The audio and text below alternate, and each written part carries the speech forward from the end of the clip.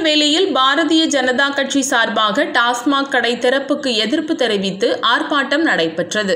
திருநெல்வேலி மாவட்ட பாரதிய ஜனதா கட்சி அலுவலகம் முன்பு டாஸ்மாக் கடையை திறக்க எதிர்ப்பு தெரிவித்து மாவட்ட தலைவர் மகாராஜன் தலைமையில் ஆர்ப்பாட்டம் நடைபெற்றது.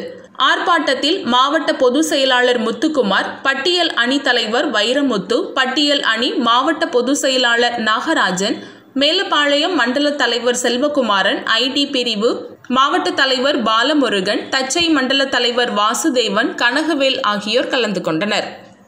மத்திய அரசும் மாநில அரசும் இப்போ நடக்கக்கூடிய ஒரு கொரோனா ஒரு பேரழிவு நேரத்தில் ஊரடங்கு அறிவித்து இன்னைக்கு நாடு முழுவதும் ஊரடங்கு அமலில் இருக்கக்கூடிய நேரத்தில் தமிழக அரசு சற்று நேற்று தினம் ஒரு நோட்டிஃபிகேஷன் கொடுத்துருக்காங்க.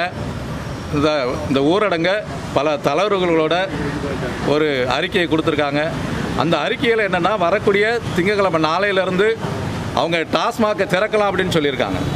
இதே தமிழக முதல்வர் ஸ்டாலின் அவர்கள் எதிர்க்கட்சி தலைவராக இருக்கக்கூடிய காலகட்டத்தில் அன்றைய தினம் ஆட்சியில் இருந்த அதிமுக அரசை கண்டித்து இதே போன்ற ஒரு ஊரடங்கு காலத்திலே நமக்கு டாஸ்மாக் வேண்டாம்.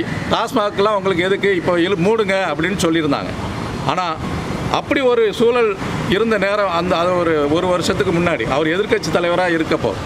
இப்போ அதே முதல்வர் இன்றைக்கி தமிழகத்தின் முதல்வராக இருக்கிற நேரத்தில் அவர் சொன்னதெல்லாம் மறந்துட்டு இன்றைக்கி அவர் டாஸ்மாகை திறக்கிறதுக்கு ஒரு ஆணை பிரிவிச்சிருக்காங்க இதை பாரதிய ஜனதா கட்சி வன்மையாக கண்டிக்கிறது. இதனை கண்டித்து தமிழகம் முழுவதும் எங்களுடைய மாநில தலைவர் டாக்டர் எல் முருகன் அவர்களின் அறிவுறுத்தலின்படி இன்றைய தினம் அனைத்து க- கட்சி காரியகர்த்தாக்கள் வீடுகளின் முன்பாக அதே போல் மாவட்ட அலுவலகத்தின் முன்பாக அவங்க க- ஊரடங்கு விதிகள் முறைப்படி நான்கு ஐந்து பேர் மட்டுமே நம்ம கூடி ஒரு ஆர்ப்பாட்டத்தை இன்று திருநெல்வேலி மாவட்டத்தின் சார்பாக திருநெல்வேலி அலுவலக அலுவலகம் முன்னாலே நம்ம நடத்தியிருக்கிறோம். இதை வந்து இன்னும் பல்வேறு கட்ட போராட்டங்கள் நம்ம பண்ண போகிறோம் ஸ்டாலின் அரசு இந்த மதுக்கடையை மூடணும்.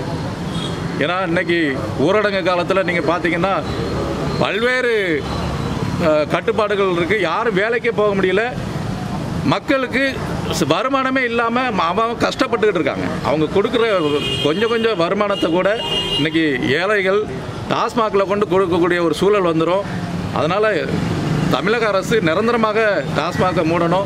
அதே போல் நேற்றுக்கு திங்கக்கிழமை டாஸ்மாகை திறக்கிறன்னுட்டு அவங்க கொடுக்குற ஒரு உதவித்தொகை செவ்வாய்க்கிழமை கொடுக்குறேன்னு இருக்காங்க என்னென்னா அரசாங்கம் கொடுக்கக்கூடிய உதவித்தொகையை கூட நமக்கு இன்னைக்கு அவங்களோட அரசே எடுத்துக்கக்கூடிய ஒரு சூழல். டாஸ்மாக் திறக்கிறதுனால என்ன ஆகும்? அப்படி தான் ஆகும். இதனால் பாதிக்கப்படக்கூடியது வந்து ஏ- கஷ்டப்பட்ட பாமர மக்கள் தான் பாதிக்கப்பட போகிறாங்க இருக்கவங்களுக்கு பிரச்சனை இல்லை.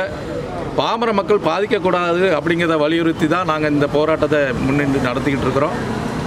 அது அதோட ஒரு தொடர்ச்சி ஒரு முதல் முதல்கட்ட ப ஆர்ப்பாட்டம் தான் இன்றைக்கி நம்ம ஒரு டோக்கன் ஸ்ட்ரைக் மாதிரி ஒரு ஒரு நபர் மட்டுமே பண்ணிக்கிட்டு இருக்கக்கூடிய இந்த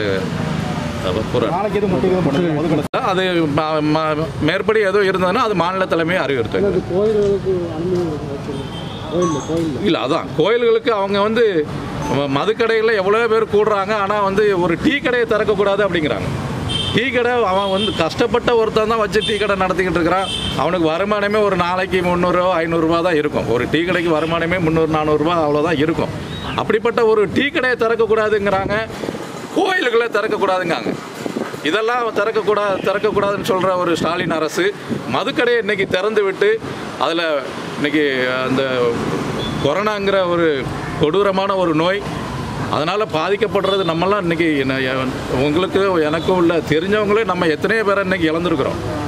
நம்ம அத்தனை பேருமே நமக்கு தெரிஞ்சவங்க பல் பல பேரை நம்ம இழந்திருக்கிறோம். அப்படி ஒரு நோய் காலகட்டத்தில் இன்னைக்கு டாஸ்மாக் கடையை திறந்து இந்த நோயை இன்னும் அதிகப்படுத்துறதுக்கு தான் வாய்ப்பு இருக்குமோ ஒழிய குறைக்கிறதுக்கு உள்ள ஒரு வாய்ப்பு இருக்காது. இதை வந்து ஸ்டாலின் அரசு கண்டிப்பாக இதை கவனத்தில் எடுத்து அவங்க இதை மூடணுங்கிறத நான் கேட்டுக்கிறேன். ஆ, மகாராஜன் மாவட்ட தலைவர் திருநெல்வேலி.